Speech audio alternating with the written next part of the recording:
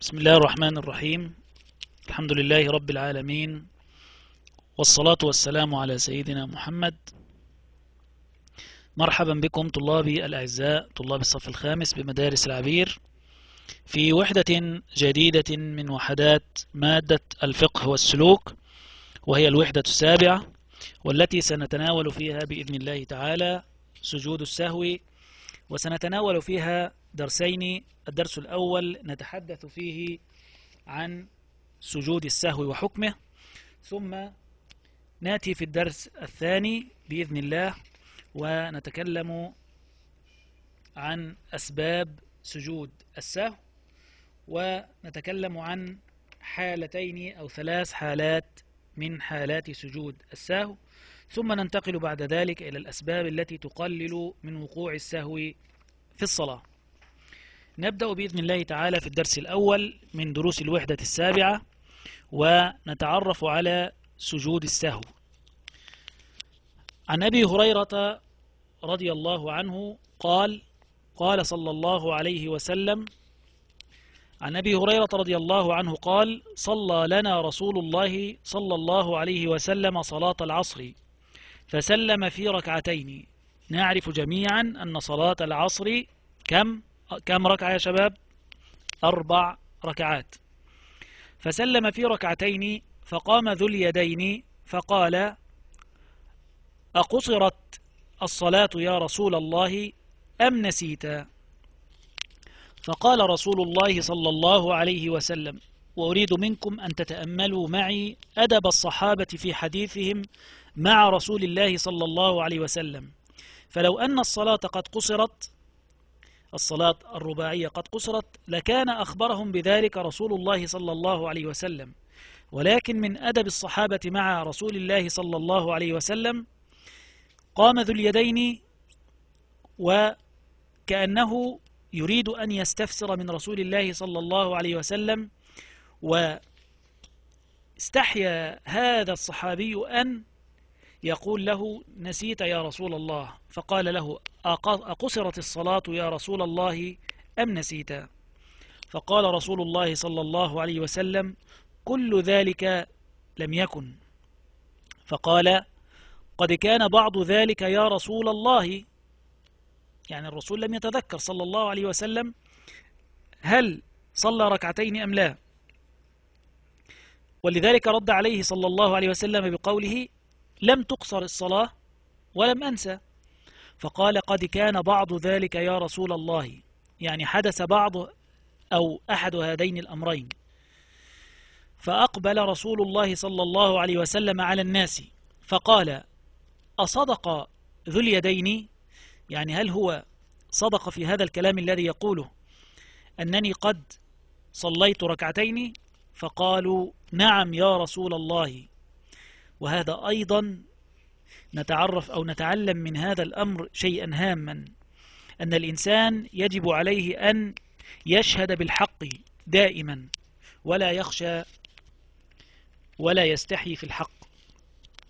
فقالوا نعم يا رسول الله فأتم رسول الله صلى الله عليه وسلم ما بقي من الصلاة يعني قام وأكمل وجاء بركعتين ثم سجد سجدتين وهو جالس بعد التسليم.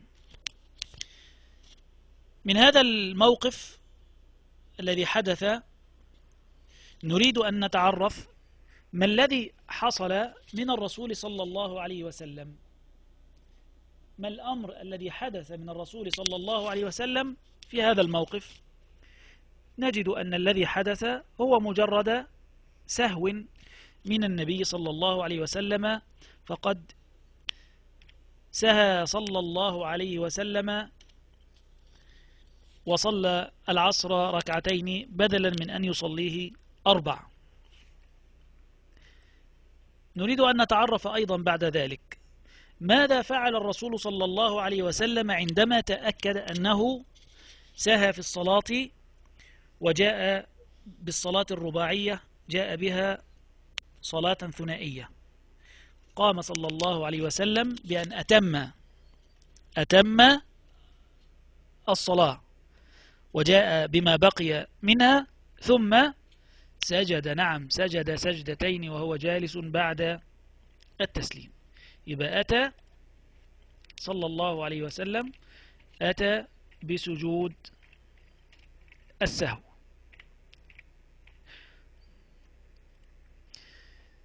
ننتقل بعد ذلك إلى أن نتعرف على ما معنى السهو وما تعرفه نتعرف على هذا في اللغة وفي الاصطلاح. فسجود السهو أو السهو بشكل عام هو النسيان. معنى كلمة السهو أي النسيان. ومعنى سجود السهو سجدتان. عبارة عن ماذا؟ سجدتان. يسجدهما المصلي آخر صلاته إذا حصل منه. وركز معايا في هذه النقطة الملونة أمامك باللون الأزرق. يكون سجود السهو. قد يسأل بعض الطلاب هل سجود السهو في حالة النقص فقط؟ نقول له لا. يكون سجود السهو إذا حصل منه أي من المصلي سهو أي سهو بزيادة صلاة ثلاثية. صلاة المغرب جئت بها أربع ركعات هذا اسمه سهو وهذه اسمها سهو زيادة. أو نقص كما حدث في الموقف مع النبي صلى الله عليه وسلم بأن جاء بالصلاة الرباعية وصلاها ثنائية أو مجرد الشك. حتى ولو كان الشك حدث في نفس المصلي يجب عليه أن يأتي بسجود السهو. هذا المقصود بالسهو. حتى لا ي... إذا أتاك سؤال وقال لك ضع علامة صح يكون سجود السهو إذا حصل من المصلي سهو بنقص في عدد ركعات الصلاة فقط.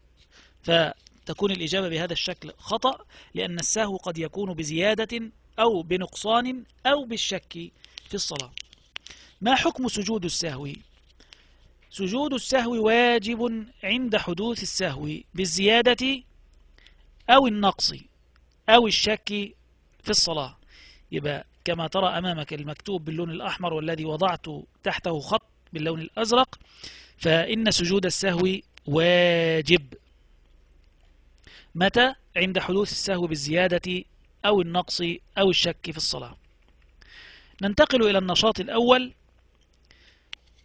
ثبت أن النبي صلى الله عليه وسلم سهى في صلاته ولهذا قال صلى الله عليه وسلم إنما أنا بشر مثلكم أنسى كما تنسون فإذا نسيت فذكروني. صلى الله عليه وسلم.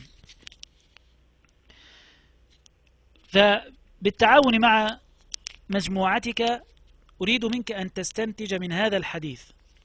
أن السهو من طبيعة البشر. نستنتج من هذا الحديث أيضا شيئا آخر. وركز معايا بطل.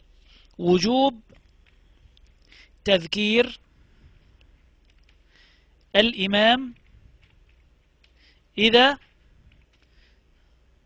سهى. في الصلاة.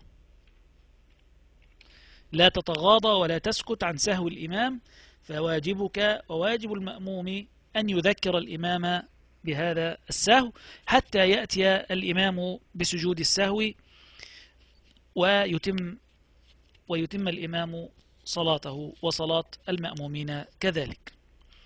أيضا نستنتج من هذا الحديث أو من قول النبي صلى الله عليه وسلم أن وجوب أو أن سجود السهو واجب.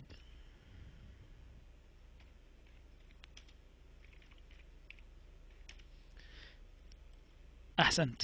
يبقى استنتجنا أمرين بالإضافة إلى رقم واحد. عرفنا أن السهو من طبيعة البشر وعرفنا أنه يجب تذكير الإمام إذا سهى في صلاته وأن وجوب سجود السهو في الصلاة إذا حدث كما قلنا زيادة أو نقص أو شك في الصلاة. ناتي إلى رقم باء. يقول بالتعاون مع مجموعتي أبين الواجب على المأموم إذا وقع سهو من الإمام في الصلاة؟ ها طب هذا أمر مهم. وركز معايا بطل. الإمام وقع وسهى في صلاته. قلنا يجب على المأموم أن يذكر الإمام ولكن كيف يكون التذكير؟ أن يذكر الإمام بقوله سبحان الله حتى ينتبه الإمام ويعرف أنه قد سهى في شيء فيعود إليه مرة أخرى وهذا أمر مهم. وإذا قام بعض المأمومين بتذكير الإمام يكفي أن يقوم البعض فلا داعي أن يقوم الجميع بتذكير الإمام ويؤدي هذا إلى حدوث خلل في الصلاة أو حدوث ضجيج أو غير ذلك بالمسجد وهذا لا يجوز ولكن يكفي إذا قام البعض بتذكير الإمام يكفي ولا داعي لأن يقوم الجميع بهذا الأمر. ننتقل إلى صفة سجود السهو.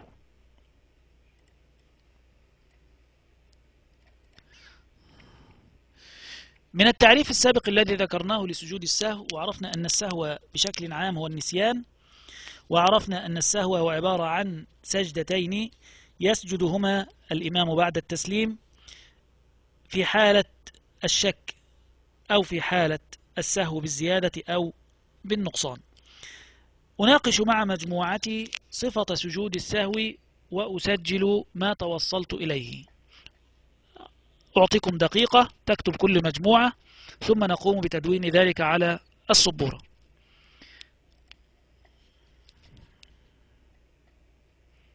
أحسنتم. إجابتكم قريبة من الصواب ولكن سنجمع أو نقوم بتجميع الإجابات ونستخلص منها جميعا بأنه أن يسجد الشخص سجدتين بينهما جلوس وهذه طبعا الكيفية. ويكون ذلك إما بعد السلام وإما قبله ويفعل ما يفعله في سجوده العادي من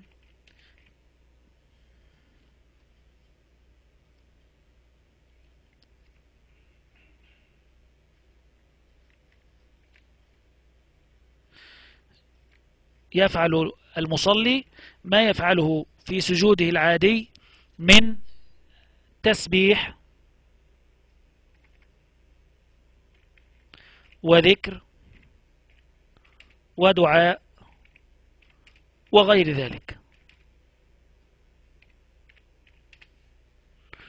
ولكن يعرف أن هذا السجود إنما هو بسبب السهو في الصلاة. ننتقل إلى تدريب آخر يقول بالتعاون مع مجموعتي أبين ما يقال في سجود السهو. قلنا مثل مثل السجود العادي فيقول المصلي في سجود السهو سبحان ربي الأعلى.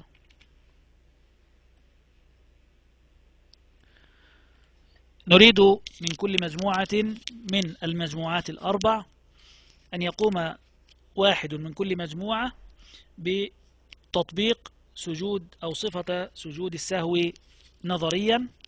نختار تركي من المجموعة الأولى ونختار خالد من المجموعة الثانية سعد من المجموعة الثالثة آه، فيصل من المجموعة الرابعة. تفضلوا.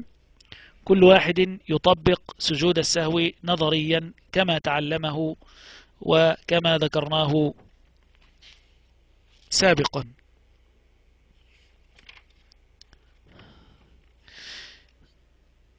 أحسنتم ممتازين بارك الله فيكم. ننتقل بعد ذلك إلى تقويم الدرس. التقويم السؤال الأول يقول ما معنى سجود السهو؟ ما معنى سجود السهو يا شباب؟ ها كما ذكرنا قلنا أن سجود السهو هو عبارة عن سجدتين يسجدهما. المصلي لجبر. آه هذا أمر مهم. فسجود السهو شرع ليجبر المصلي الخلل الذي وقع في صلاته. لجبر الخلل الذي وقع في الصلاة. أحسنت. نضع علامة صح أمام العبارة الصحيحة وعلامة خطأ أمام العبارة غير الصحيحة فيما يأتي. أولا سجود السهو حكمه واجب. هذه تعلمناها في بداية الدرس. ها العبارة صح أم خطأ؟ أحسنتم عبارة صحيحة. طيب سجود السهو يكون في آخر الصلاة. ها أحسنتم. عبارة أيضا صحيحة وقلنا قد يكون قبل السلام أو بعد السلام. يشرع سجود السهو عند تعمد ترك واجب من واجبات الصلاة. عند التعمد السهو أصلا اسمه إيه؟ هو مع المقصود به ماذا؟ قلنا أنه النسيان. ولكن إذا تعمد المصلي ترك واجب من واجبات الصلاة هل يقول سأسجد للسهو وينتهي الأمر؟ نقول هذه عبارة خطأ.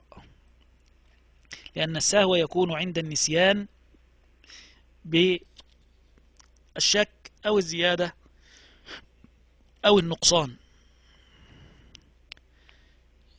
وإلى هنا طلابي الأعزاء نصل إلى نهاية درسنا. نرجو أن تكونوا قد استفدتم وتعلمنا شيئا جديدا. ونسأل الله أن يفقهنا في ديننا. إنه على ذلك قدير ونلتقي في درس جديد بإذن الله. أشكركم والسلام عليكم ورحمة الله وبركاته.